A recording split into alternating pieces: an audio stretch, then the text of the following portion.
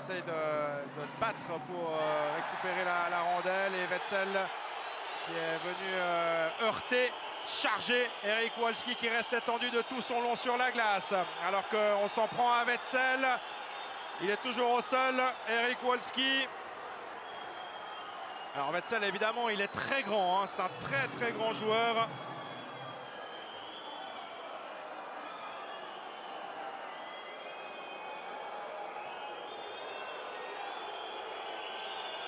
Wolski toujours au sol. Hein. Pour l'instant, c'est finalement le, plus important. Ce qui nous intéresse, il est, il est simplement sonné.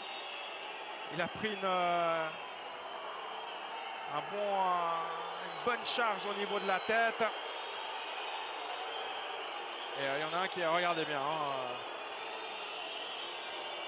Et je ne sais pas si la tête finalement est heurtée. Je crois que la tête, elle tape la glace le, contact de, Philippe Wetzel euh, n'est pas au niveau de la tête. Hein. Il est vraiment, il se fait au niveau de l'épaule.